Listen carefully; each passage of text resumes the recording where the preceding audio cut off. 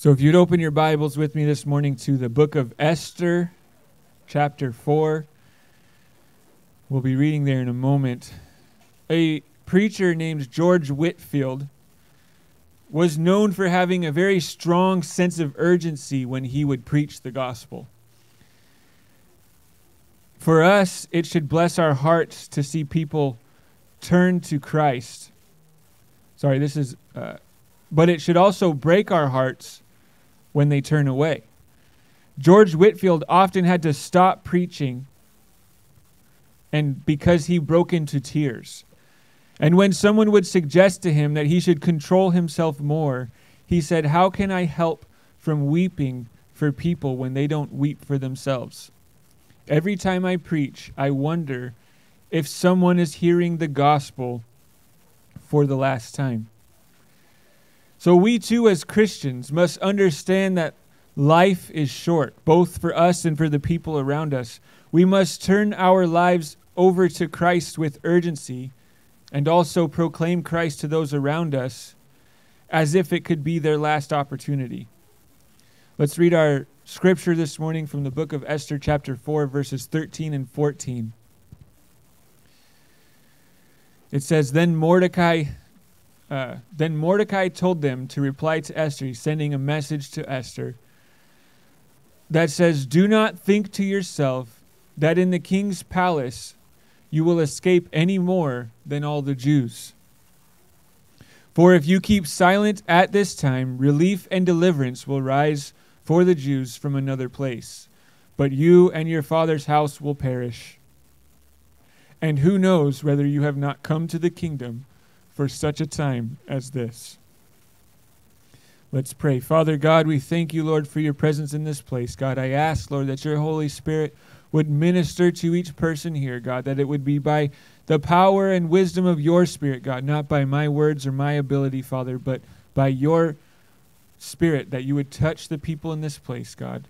In Jesus' name, amen. So it's important to understand that there is a strategy against us as Christians. And so to bring more clarity to this in this in the text that I read this morning is the story of Esther. And Esther at this time in the story is is the queen. And she is also a Jew. However, the king does not even know that she's Jewish.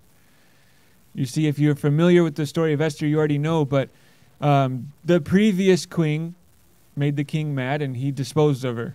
So he went out to pick a new queen and he found Esther, thought she was pretty good looking, and that's all it took back then. So Esther finds herself in a position, a very high and lofty position, uh, because the king just picked her out of a lineup. And Mordecai, this man who's sending a message to her, is her older cousin who raised her as her own as her own daughter after they were taken captive into Babylon and Esther was separated from her parents. Um, I personally don't have a cousin old enough to be my parent, but in this case, Esther did. So Mordecai was basically her father, but speaking uh, in the family tree, he was her cousin, but he had raised her. And so in our text, Mordecai is speaking to Esther about a dire situation for the Jewish people. They were in great danger, and the situation that he's speaking of is found in Esther chapter 3, verses 8 through 11. A man named Haman desires to wipe out the Jewish people, and it says this Then Haman said to King Ahasuerus, There is a certain people scattered abroad and dispersed among the peoples in all the province of your kingdom their laws are different from those of every other people, and they do not keep the king's laws, so that it is not to the king's profit to tolerate them. If it please the king, let it be decreed that they be destroyed, and I will pay 10,000 talents of silver into the hands of those who have charge of the king's business, and they may put it into the king's treasuries. So the king took his signet ring from his hand and gave it to Haman, the, the, the Agagite, the Agagite, from the son of Hammedatha, the enemy of the Jews. And the king said to Haman, The money is given to you, the people also, and do with them as it seems good to you. So, in other words, Haman wants to pay people a lot of money to exterminate the Jewish people. And the king hands over his singlet. This is like as if the president were to hand over the magic pen that he signs executive orders with to somebody else. He gives him the power to just, he says, just do what you need to do. I like your plan. So the Jewish people in this land are in great danger because of this law. And Mordecai understands that his cousin, that he raised as his own child, is in a very special and unique situation to save the lives of the Jewish people. She is the queen of the land. So he tells her, let's read our main text one more time, Esther 4 13 through 14. Mordecai told them to reply to Esther, Do not think to yourself that in the king's palace you will escape any more than all the other Jews. So, in other words, he says, Listen, you might be royalty, but you're in trouble too. For if you keep silent at this time, relief and deliverance will rise from the Jew, uh, rise for the Jews from another place but you and your father's house will perish. And who knows whether you have not come to the kingdom for such a time as this? See, he understands that Esther in reality is in more danger if she does nothing. Even if she is spared from the slaughtering of the Jews, there is judgment, which is far worse. But then he says, maybe you're here for this exact reason. And so Haman has a strategy against the Jewish people. And if you read all throughout the Old Testament, you can see time after time Satan is coming after God's people, the people of Israel, and his desires to wipe out the race as a whole. And this strategy has not stopped. Even to this day, you see people across the world desire to destroy Israel. You see, Satan understood that Jesus, who would bring salvation to all of mankind, would come through this lineage, through the Jewish race. And Satan wanted to wipe them out before that could happen. Now, in this story, we see a clear and deliberate strategy to destroy God's people. This is Satan's goal. And as we know, being in this place, that Satan did in fact fail to stop the first coming of Jesus Christ. He is now, today, continually developing strategies to steal as many people away from Christ until Jesus comes back again. So, what is the strategy that Satan has against us today? Satan, in reality, has only one goal and one goal only, and that is to bring as many people into hell with him as he can. There are many people who just don't get it. They call themselves devil worshippers or you know satan's my homie or whatever. And they think yeah i'm going to go to hell. And somewhere their theology is bad of course but somewhere they believe that if i serve satan adequately when i get to hell i'll be ranked. I'll be in charge. You know i'll have a good position. This is actual religion that people have but in the bible it's very clear that that is not the case in fact there is no rankings in hell when people go to hell, Satan ain't even in charge of anything. He's suffering just like everybody else. But he doesn't want you to know that. That's part of his strategy. So, to achieve this goal, the devil will tell us lies. That being the, a big one in today's day and age. There's many people who believe in hell and believe they're going there and are okay with that. They don't have a good understanding of what hell is. But oftentimes the devil will use more subtle strategies on people, convince them to live a life satisfying of the flesh and things like drugs and alcohol, sexual immoralities, unhealthy lifestyles, and slothfulness, just being downright lazy. That was that's that's me. I love to sit on my couch. That's the one the devil comes at me all the time. Why, uh, you know, you don't have to go do that right now. Just chill a little bit. Take it easy. Sometimes it's satisfying our eyes with things like immoral movies, TV shows, or even pornography. Something that is, all three of those things actually, I believe, are far more rampant in today's day and age than people admit. There's a lot of TV shows that people watch, but they don't. It's like the Game of Thrones, right? There's there's a group of people who are like, "Oh yeah, I heard that show. I saw a couple episodes, um, but uh, you know, it's a long time ago." But uh, yeah, this, the show went for like how many seasons? Like a million. And so these people are watching it, right? P- nobody admits they're watching it, but they're watching it. I honestly can admit I haven't seen it, but I've heard it's horrible. but these things that people do, these things that people go, oh, you know what? Yeah, that's not going to hurt me that bad. These are the subtle things that Satan will tempt us to indulge in, or he will tempt us to satisfy our egos in things like power and money and success, continually pursuing careers or riches or education. These are things some of these things are straight up sinful and some of these things are not. But when they consume our lives is when it can become a problem. And 1 John 2:16 warns us of this. For all that is in the world, the desires of the flesh and the desires of the eyes and the pride of life is not from the Father, but from the world. So truly, no matter what his strategy is against us, the devil's goal is to steal our salvation, to kill us, and to destroy our lives.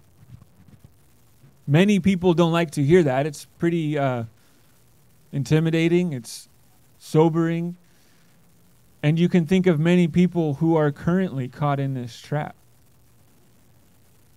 But Jesus in John 10:10 10, 10 says it very plainly, uh, plainly speaking of the devil, the thief comes only to steal, kill, and destroy. Have you ever heard of a thief that breaks into somebody's house just so he can tidy the place up a little bit? Maybe so he can say, Listen, I'm going to take this from you, but I'm going to replace it with better things. This is what the devil wants you to think he's doing. Listen, you don't need to go to church. Hey, you don't need, listen, you're tired. You don't need to pick up your Bible tonight. Oh, you don't need to take some time to pray. Listen, you deserve this. You deserve that. He's taking the true riches, he's breaking in and taking the true riches and trying to convince us that he's replacing it with something better. But in reality, Jesus says he only comes to steal and kill and destroy. That is his one and only goal against our lives. And in 1 Peter 5 8 warns us be sober minded, be watchful. Your adversary, the devil, prowls around like a roaring lion, seeking someone to devour. Now, these two texts brings a contrast of our lives. A thief doesn't he breaks into your home, right? Or maybe your car, your personal space. But last time, I haven't heard any stories from you guys about a lion breaking into your home. So this is brings an image of us in our lives outside of our homes or in our relationships with people who aren't in our homes. So the devil's trying to break into our private life and the devil's trying to devour us outside of it as well. He's taking every angle he can get. Now, when we read a text like this, the devil is like a roaring lion seeking someone to devour. Now, listen, if we're in here and we see a roaring lion outside, guess what we're not doing? Going outside. Nobody out here is crazy enough to go outside. And if you are, you're asking for it, but that's, you know, I'm not going to get into that. So it seems like something easy to avoid, right? It seems like something you can go, okay, there's a lion over there. I ain't going that way. I'm going the other way. But the truth is, this type of devouring that the devil desires is one that can be subtle, one that can be unnoticeable, one that can be completed before we even notice that it started. You see, this word devour in the Greek, in the Greek, ah, told you guys, my voice is failing me today. In the Greek, Greek is not a language, is katapino which means to swallow, to devour, to destroy, or to consume. So, do you ever feel like maybe you're consumed by your work? You're swallowed by your financial struggles, being consumed by drama with your relationships, whether it be a family, boyfriend, girlfriend, husband, wife, friends, coworkers, whatever it is. Being destroyed by your bad habits. Your time is being devoured day after day by any of these things or more. You find yourself think you know you have stuff to do, things to get to, and then all of a sudden you're like, man, I spent how long doing that? These are the subtle, yet can be very deadly strategies the devil has against us if we allow them to consume us. He's designed these things to devour us. And this obviously is not speaking of a physical devouring. I don't see any bite marks in any of you guys. I don't have any, except for maybe from my children. No, I'm just kidding. They don't bite me. But this is speaking spiritually. Listen, when I make the example of we look outside, we don't see a lion in the parking lot. We don't see a physical lion, but let me tell you, there's a spiritual lion. And we have to train our spirits to see that lion, to see him coming for us, to see him gnawing on us, because that's what it is. Listen, lions are vicious creatures, but I've never seen them eat a zebra in one bite. It takes time. It's a slow process. And if we're not careful, if we're not vigilant, if we're not watching for this spiritual lion in our lives through our workplaces, through our relationships, through our habits, eventually the devil takes his last bite, and we didn't even realize he started. We just think we're going through some hard times. We do go through some hard times. But sometimes we allow the hard times to devour us, to consume us, to destroy us. This is the strategy against all people. The devil also has a strategy against Christians, against the church. And his goal is if he can turn churches and Christians against each other, then there will be no success. 2 Corinthians 2 10 through 11. Paul writes, Anyone whom you forgive, I also forgive. Indeed, what I have forgiven, if I have forgiven anything, has been for your sake in the presence of Christ, so that we would not be outwitted by Satan. For we are not ignorant of his designs. Paul, uh, Paul understands what forgive, unforgiveness can do to the body of Christ. That it is a scheme to cause division in our lives. Listen, if one of you guys in this place has a beef with someone else here, you probably haven't been listening this whole time. You're just side glancing at them across the room thinking, man, they're messed up. Man, they did me dirty. It's all you can think about, it's all that's on your mind. when people come against you, whether sometimes it's unknowingly. You, you ever had somebody that, that you're mad at and you finally confront them and they're like, man, I had no idea that that upset you? This could have all been water under the bridge if it would have been confronted in the moment. And guess what? Even if it was malicious intent, Paul says, forgive people. Because at the end of the day, whether they deserve it or not, unforgiveness is a strategy of the devil against our lives. And if we refuse to forgive those who have hurt us, whether they ask for it or not, whether they deserve it or not, then we are being outwitted by Satan, by the roaring lion who des- desires to devour our lives.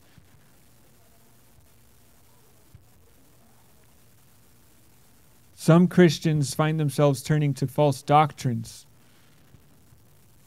or unsaved people finding themselves in false doctrines as well. 2 Corinthians 11, 13 through 15 speaks of this. Speaking of false teachers, says, For such men are false apostles, deceitful workmen, disguising themselves as apostles of Christ. And no wonder, for even Satan disguises himself as an angel of light. So it is no surprise if his servants also disguise themselves as servants of righteousness. Their end will correspond to their deeds. You see, Paul is speaking very bluntly and very plainly about people who come in the name of Christ but are actually desiring to lead people astray. They say he says Satan himself comes as an angel of light. Satan was an archangel. Guess what? Just because he sinned and fell short of the glory of God and got cast out of heaven didn't turn him into a red demon with horns and a pitchfork and a pointy tail. He still appears as an angel of light. He still appears deceptive. And so it goes on to say there's no surprise that people who work for him are also going to act that way. They will make false claims like, yeah, you have to give to my ministry, pay for my class, buy my special anointing oil, or whatever it might be to be blessed. We encountered a woman at an outreach event, and uh, she began opening up about her struggles in her marriage and uh, and addictions and things like this. And she goes, But next week, I'm going to a deliverance class at this church. I'm not going to name the church. At this church, uh, and it's only, I think she said like $50. and we told her, ma'am, you got to understand, you can have deliverance right now for free. Jesus paid for that already. Jesus paid the price for our deliverance already. You don't have to go to a class. That's a ripoff. We can pray for you right now, and your faith can make you whole. Jesus paid the price. But there's many churches out there. There are many places out there that say, "Hey, come pay for this class." Come. Could you imagine if I charged you guys admission to Bible study? Like, please don't come. Like, I, I'm not that good. And I hope I never think I am. But to imagine charging people for the Word of God, for the deliverance of Jesus Christ. Or they might come to you saying, We bring you new testaments of Christ or new scriptures that only we have. Listen, your church might be cool, but we got something they don't. We got this special book full of knowledge that nobody else has. Or some people will tell you, hey, you know, Jesus is good, but that's following him just isn't enough. You got to do this, you got to pray that, you got to act this way. Praying to God, yeah, that's cool, but you also got to pray to so and so, such and such. And if you don't say this prayer every day, then don't even count on getting into heaven. Don't miss Sunday service because there's communion, and communion is what saves you. Listen, communion's great. We do that here. Jesus says, do this. What does Jesus say? Do this what? In remembrance. If Jesus said, do this for your salvation, I would be preaching a different sermon, but that's not what he says. He says, do this in remembrance of me. But some religions have twisted it to saying you have to do this or else. And then verse 15 comes the fruit of their ministries. It says, their end will correspond to their deeds. What is this end that Paul is writing about? In Revelations 20:10, it speaks of this end, and the devil who has deceived them was thrown into the lake of fire and sulfur, where the beast and the false prophet were. And they will be tormented day and night forever. Just as I spoke before, the devil is not going to have any authority in heaven. He's going to be in the same boat as everybody else there. And it's not a good one to be in. But this is the ends of their ministry, if you could call it that. This is the ends of their deeds. And this is the ends of the devil, and he knows it. The devil knows his future. He, some theology, some theologians believe that maybe he thinks he can prevent it, I don't know, but we know. We know what our Bible says and we know who our God is. And the devil knows where he's going. And he desires to bring as many people with him as he can.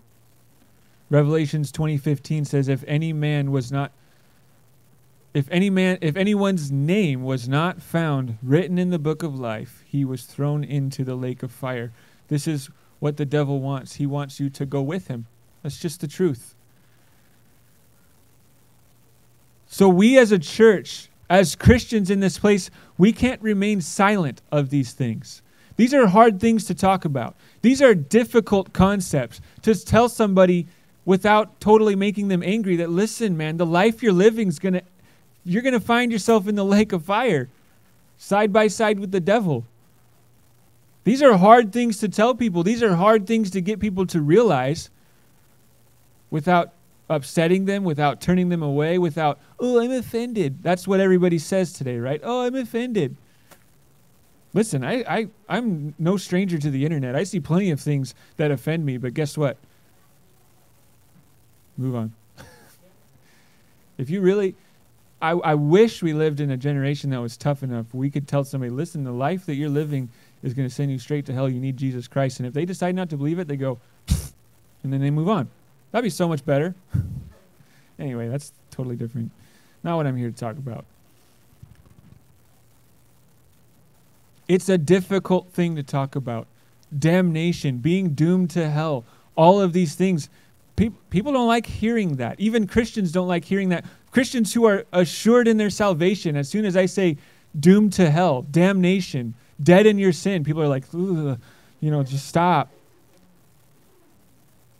Church, we have to be not afraid to preach these things. We have to be not afraid to warn people of this.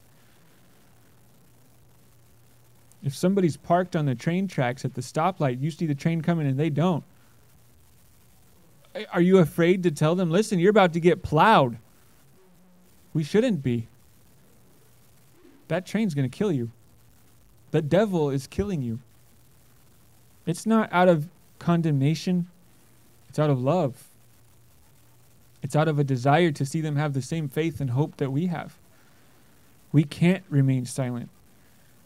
And in our text this morning, we see Mordecai make a very clear statement to Esther you can't remain silent. Esther chapter 4, verse 14. He says, If you keep silent at this time, relief and deliverance will rise for the Jews from another place. But you and your father's house will perish. And who knows whether you have not come to the kingdom for such a time as this? You see, Esther was aware that if she tried to stop the destruction on her people, she could be killed for breaking the king's laws. This is a day and age where, yeah, she's the queen. Yeah, the king's her husband. But you don't approach the king unless you're invited. This is the laws of their land. If you approach the king without the king calling you to him, it is a death sentence. It's not a, hey, get out of here. You're not supposed to be here. It's not a fine, it's not a fee, it's not thrown in the stocks for a couple weeks. It's death. And Esther knows that. And Mordecai is challenging her confront the king.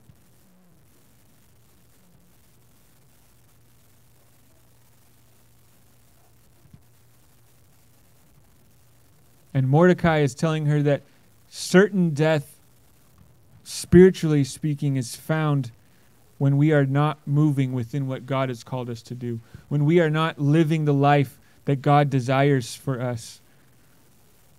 Mordecai essentially makes the point that listen, the king might kill you if you approach him, but that's far worse than if you do nothing. And Mordecai even has faith, knowing that God will deliver his people as he has time and time again and continues to do throughout the Old Testament. He says, for relief and deliverance will rise for the Jews from another place. He said, Listen, if you don't do it, God will get somebody else to do it. But you and your father's house will perish. But if you don't do it, you're done. Mordecai is reminding her that she can't afford to remain silent. The cost is too great. And she is in a unique position to help her people. And just like Esther, there is a tragic cost if we remain silent when we are called to speak out to the people around us. I couldn't imagine, like I said before, seeing somebody parked on the train tracks. You know, it's not like in the movies where they can't back up, can't go forward, nobody's paying attention. I'm talking about just somebody chilling on the train tracks. All they gotta do is back up, right? Or get out of the car. And you're sitting there and you see the train coming and you go, ah, it's cold outside. Do I really want to get out? They'll see it. It's loud. And trains are loud. They'll see it coming. They'll figure it out. I don't want to offend them. I don't want to upset them. Like, the, you know, hey, get out of the train. And they'll be like, oh, you think I'm not paying attention? You think I don't know what I'm doing? This is my life.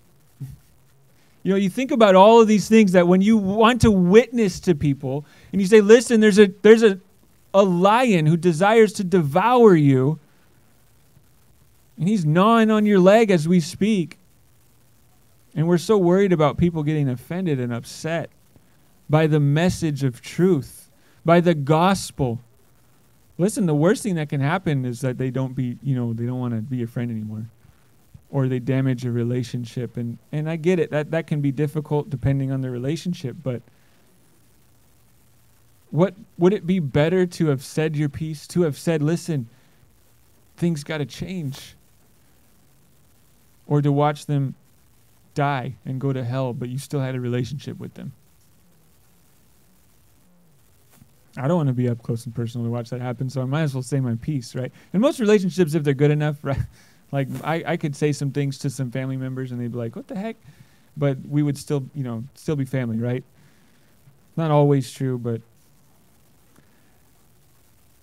we can't afford to remain silent. We can't afford to just watch people get devoured, to watch people get plowed by a train. Esther couldn't afford to watch her people get slaughtered in her own streets. And if we don't speak to those who are in danger, we too can find ourselves perishing in different ways. If we see the lion devouring somebody so close to us, guess what? We're close to the lion too. Matthew 5:13 Jesus says, "You are the salt of the earth.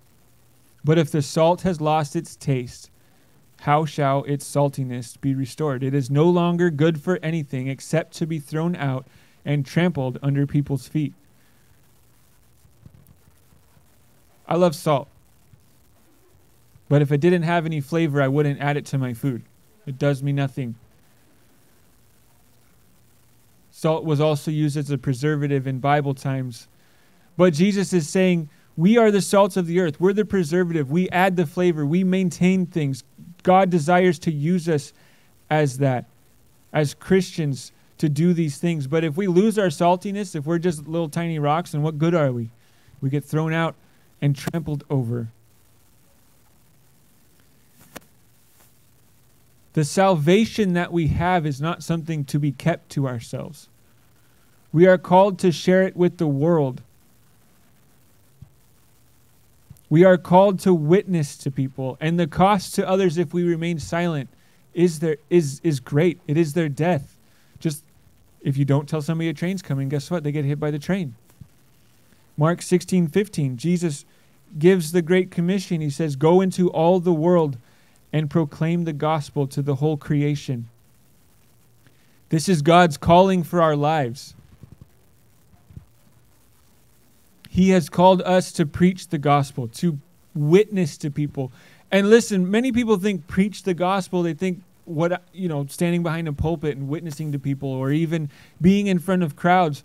Preaching the gospel is anything from what I'm doing to the street corners to your just one-on-one conversations with family and friends, with random people at the supermarket, whatever it is, we are all called to preach the gospel in one way or another.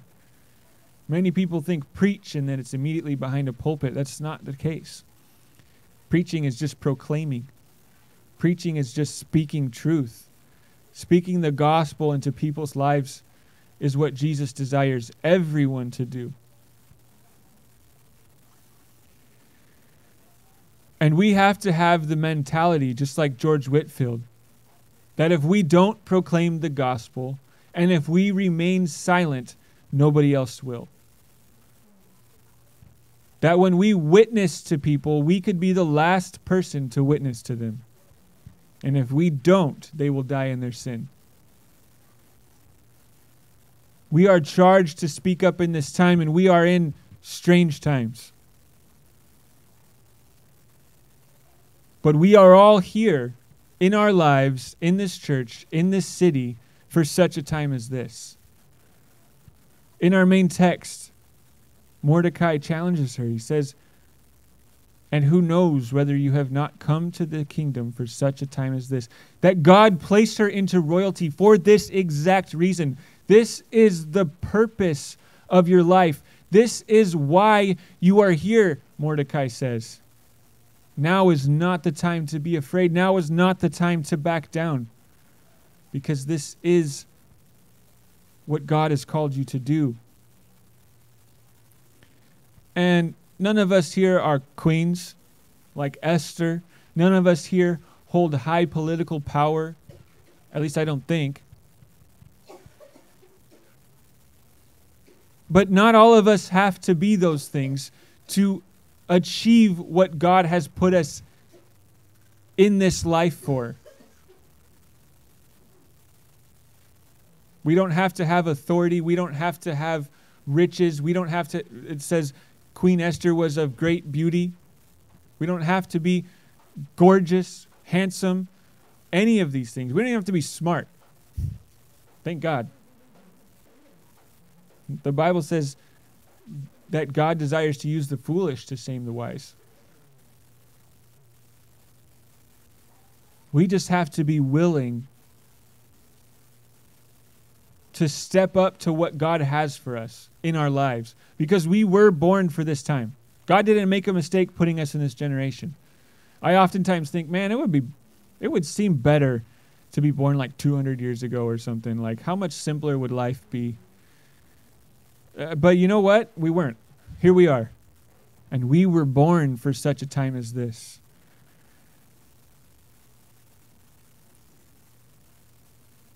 We're living in a time just like any other time since the coming of Christ where we are charged to preach the gospel and proclaim Christ to as many people as we can until the second coming of Christ. If you're familiar with end times prophecy, it certainly feels close. Things are getting wild. There's a lot of crazy stuff happening around the world. So, what is the second coming of Christ? Jesus speaks of it himself in John 14, 2 through 3. He says, In my Father's house are many rooms. I like this. If it were not so, I would not have told you that I go to prepare a place for you. He goes, In my father's house there are many rooms. If it wasn't true, I wouldn't have told you.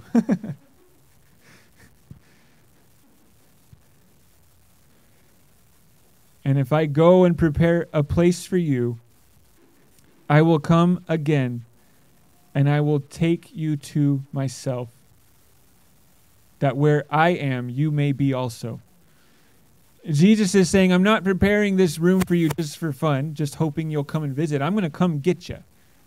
I'm going to come take you to where I am. This is speaking of his second coming. God is right now preparing a place for us in heaven. Isn't that great?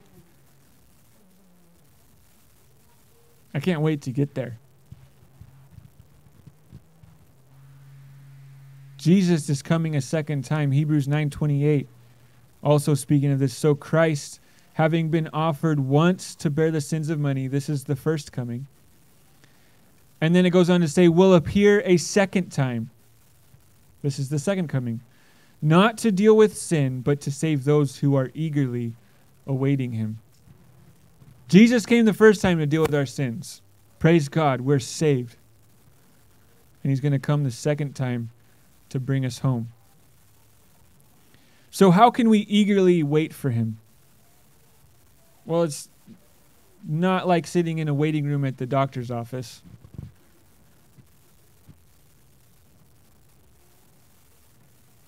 But Jesus charged us in the Great Commission to go and make disciples of all nations. In other words, he's saying, listen, while you're waiting for me to come back, you need to go make more Christians. You need to go witness to people. It's like when you're at work and your boss leaves and he says, Listen, I've got this, this, and this for you to do before I get back. Get them done. And then as soon as he leaves, guess what? You're waiting for your boss to get back, right? But you're not sitting around because if you get back and you haven't done what you're supposed to do, boss isn't happy. My boss leaves the office a lot, and every now and then he says, Hey, get that done, get that done.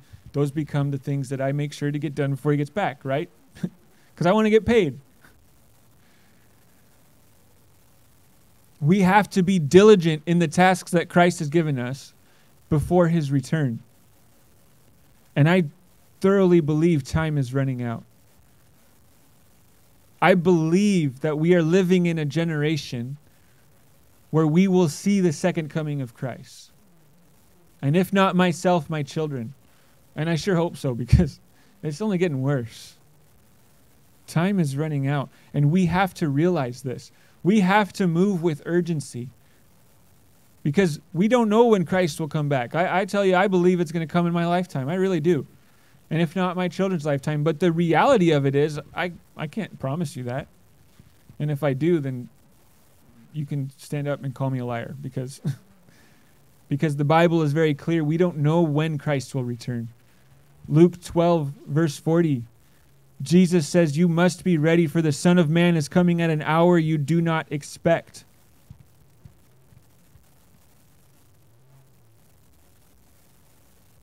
So, what if Christ returns? What if Christ comes back and in that moment we realize we've spent our life building for ourselves a retirement fund, building for ourselves a career, immoral relationships and habits, and all of these things that amount to nothing in that moment because it's all over? What if Jesus Christ comes back and we realize I have not spent any time proclaiming the gospel, witnessing to sinners? And in that moment, may or may not be saved. That's between you and God, right? But the question isn't, are you saved? The question is, have you done what you can to save other people? We have to proclaim, Christ to people as if the second coming is coming any moment. Because actually it can, right? We don't know when it'll be coming. I'm not expecting it to come by the end of my sermon, but who knows? I might never finish this. We have to proclaim Christ to people as if we are the last person to tell them. This is why we have an altar call at the end of every service. This is why we have an altar call at almost all of our events because we don't know what's going to happen when somebody walks out that door. We don't know what's going to happen between now and the next time we see someone. We don't have time to wait.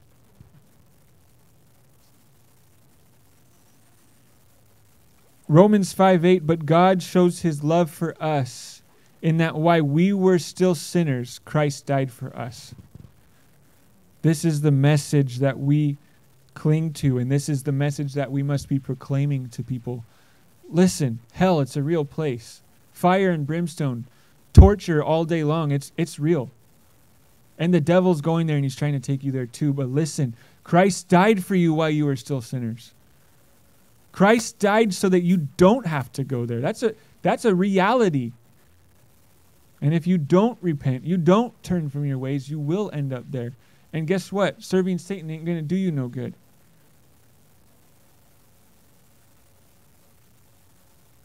Because he's going to be tortured day and night right next to you. We were all dead into our sin until we accept the sacrifice of Christ in our lives.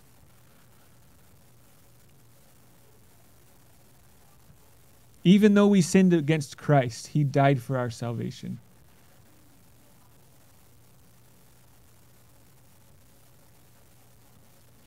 And before our lives come to an end or Christ returns, we have to accept this for ourselves as well. Philippians 2 12 through 16 says, Therefore, my beloved, as you have always obeyed, so now, not only as in my presence, but much more in my absence, Work out your own salvation with fear and trembling. For it is not God who works in you, both to will and to work for his good pleasure. Do all things without grumbling or disputing, that you may be blameless and innocent, children of God, without blemish, in the midst of a crooked and twisted generation, among whom you shine as lights in the world, holding fast to the word of life, so that in the day of Christ, I may be proud that I did not run in vain or labor in vain. In this text, it says we must work out our own salvation in fear and trembling. What does this mean? What, is, what does that phrase mean? Many people grapple with this. Like, is this a works thing? Is this, I have to, you know, do a certain thing to work out my salvation? Listen, I don't decide if you guys are saved. The person sitting next to you doesn't decide if you're saved. But rather, this text is speaking work out your own salvation. Your salvation is between you and God, nobody else. Nobody can decide your salvation except for you and God. So, what does this mean? What does that mean for you? Well, just as Esther had a very specific calling on her life, a very specific moment in her life where she had to act, Are we working out our own salvation when we say, God, my life is yours? I am saved by the blood of Jesus Christ, and I desire to act in my life because I know that you've put me in this moment for such a time as this. For such a moment as this. And I'm not saying if you make a misstep or you miss a cue from God that you're going to go to hell. I thank God because I will be right there with you. None of us are perfect, but working out our own salvation means that we are working it out with Christ, that we are one on one with God saying, Listen, I'm saved. I know I'm saved. What do I need to do to continue to be saved, to continue to walk in your will for my life? It's not a works things, but rather an understanding that our faith in Christ is what we need there's people who will come against you and say, "Oh, you're not a real Christian, or you're not this, you're not that. Oh, you dress that way. Oh, you dress this way. Oh, your church does this, or your church does that." Listen, there's a lot of people that dress certain ways. There's a lot of people that talk certain ways. There's a lot of churches that do certain things. At the end of the day, it's between you and Christ. Can we work out our own salvation?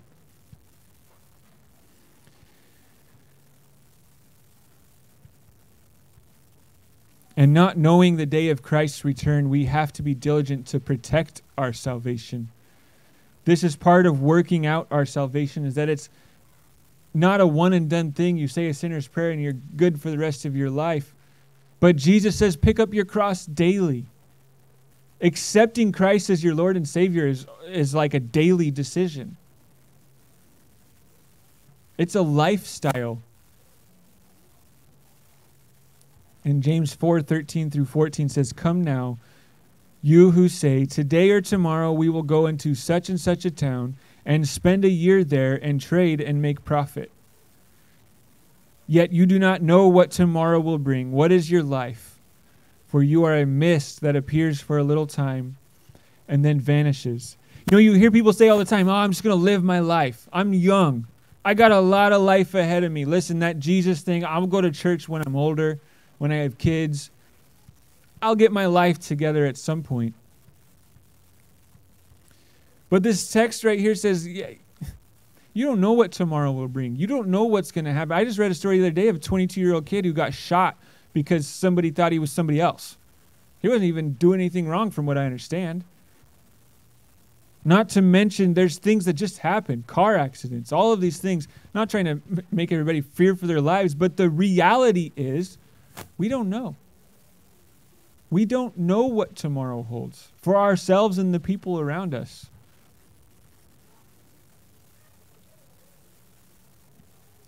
My dad, at the age of 53, healthy on Monday, gone on Friday, got sick, and it happened that fast.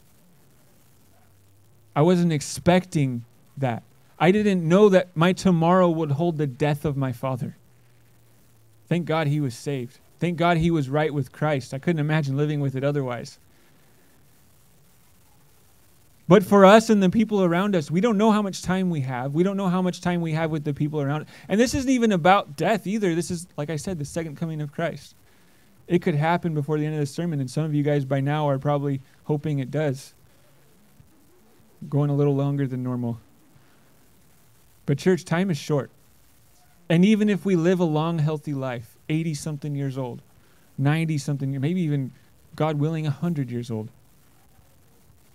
that's still not very long. Eternity is long.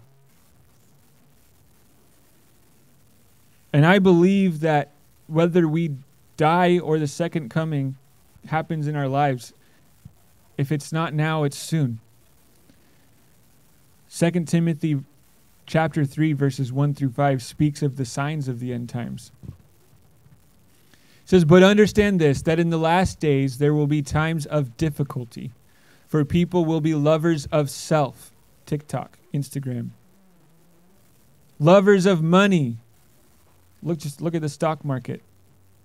Proud, arrogant. I'll go right back to TikTok and Instagram. I don't have to get creative here. Abusive, disobedient to their parents. Look at the generation of children today.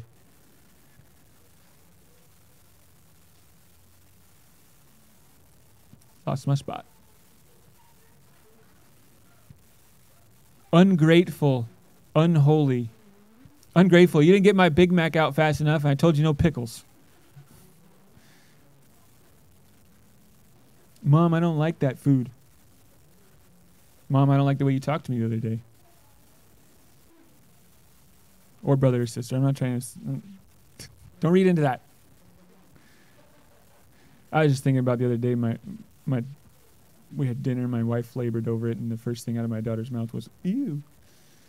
Anyway, she's not in here.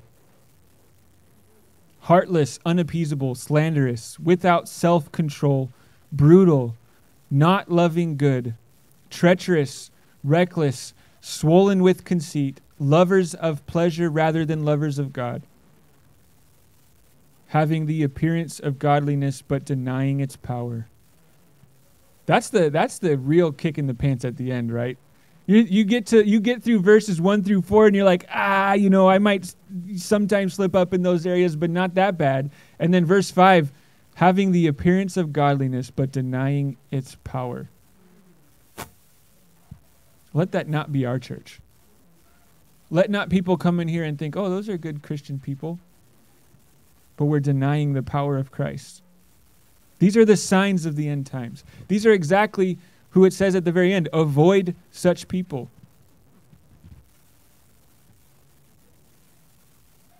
In Matthew 24, 6 through 7, Jesus speaking of signs of end times, you will hear you will hear of wars and rumors of wars. That doesn't happen much these days, right? I mean, you don't hear of it if you don't turn on the news, right? And then he goes on to say, See that you are not alarmed, for this must take place. But the end is not yet. For nation will rise against nation, and kingdom against kingdom. And there will be famines and earthquakes in various places. That's another one, too. Fam- famines and earthquakes in various places. Uh, you guys notice there's a lot of weird natural events that are happening in places that normally happen. I think last year we, we had an earthquake in the Tri Cities. It wasn't anything huge, you know, no buildings tipped over, but it's like, dang, that doesn't happen here. Think about what's going on in the world. China versus Russia, Russia versus the US, Russia versus the Ukraine, North Korea versus the US, and pretty much the entire world. Hamas and many other nations versus Israel. There's so much tension in the world. There's tension across almost every single country in the Middle East. And pretty much the whole Middle East hates Israel and hates us. We hear rumors of war constantly. 1 Timothy 4 1 Now the Spirit expressly says that in later times some will depart from the faith by devoting themselves to deceitful spirits and teachings of demons.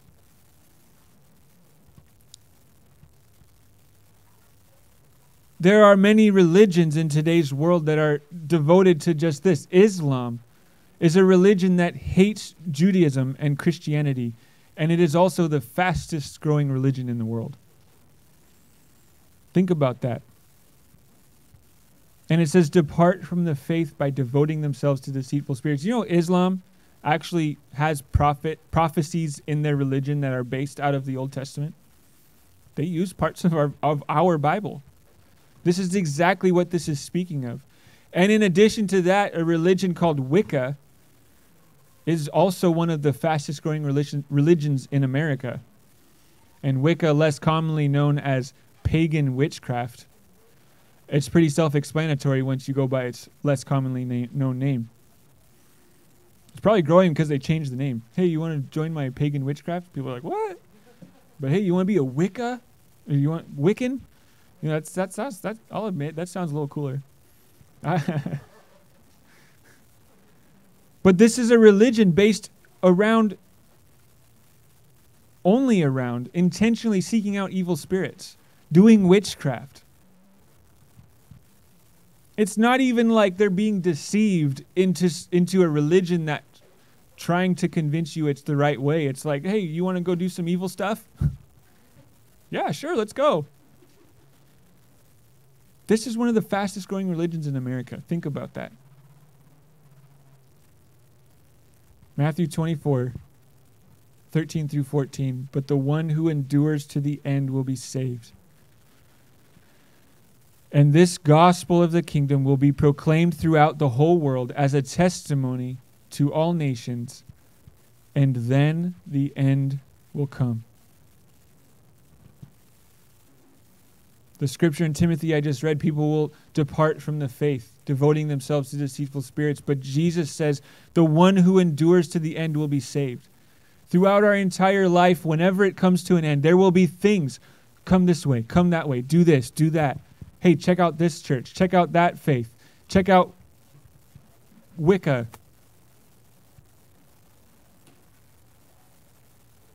But Jesus says, the one who endures to the end will be saved. When Christ returns, where will we be? What will we be doing? What will we have done? Will we have worked out our salvation? Like if somebody, if it's not going to happen this way, so don't quote me on this is the way the end of the world happens. But if somebody goes, hey, two seconds, Jesus is about to come, your brain can process a lot of thoughts in two seconds.